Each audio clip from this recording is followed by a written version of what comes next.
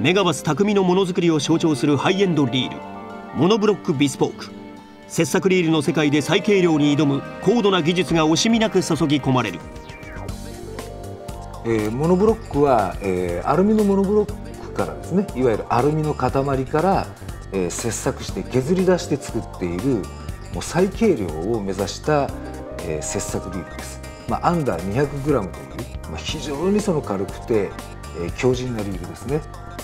えー、モノブロックっていうのはとにかく、えー、可能な限り、えー、限界まで肉抜きをしてで、えー、徹底的な軽量化っていうのをその強度と、えー、両立しているわけなんですがこんな感じで限界までね肉抜きしたあ切削痕切削の跡が残ってます。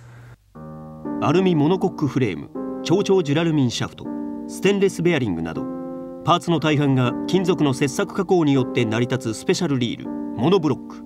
アームズ同様飽くなきスペックの追求とフィッシングプレジャーの追求という2つのストリームが融合した伊藤の二重らせん思考が垣間見える、えー、この軽いモノブロックを、えー、さらに軽量化して、えー、作り込んでいったのが、えー、こちらのワンメイクモデル、えー、レーシングコンディションですね、えー、サイドプレートを外しますと、えー、なんとここに、えー、ブランキングの穴が開いてるんですね、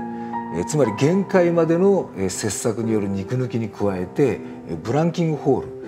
まあ、こちらで、えー、相当な軽量化をしてますね、えー、とは言ってもわずか 1g です。まあ、皆さん多分 1g っつって言うとなんだ1円玉1枚分ぐらいの重さじゃないかっつって言う人もいると思うんですがあ、まあ、実は 1g 軽量化するっていうのはえー、コンマ 1g を10回積み重ねるという、